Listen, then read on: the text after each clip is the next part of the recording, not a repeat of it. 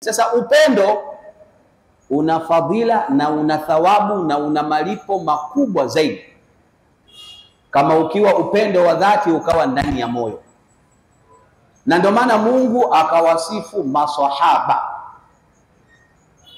Tena na sifa zenyewe zikapigwa mstari kwenye Qur'ani mpaka leo tunazisoma, na ukisoma unaandikiwa thawabu.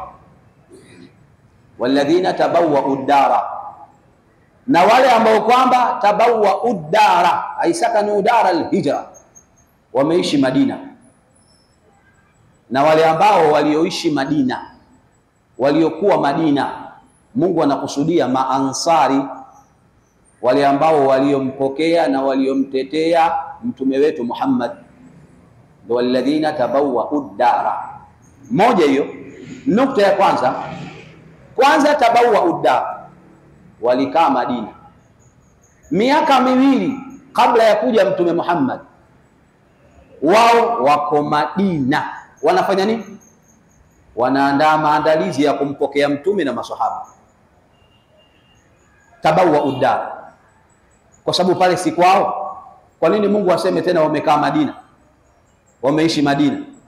Anakusudia maandalizi, hakusudii kukaa pale ni kwao, lazima wakae waishi. Lakini anachokusudia kwenye Qur'ani, tabawa udara, waliketi pale Madina miaka miwili wakiwa wanamsubiri mtume na maswahaba.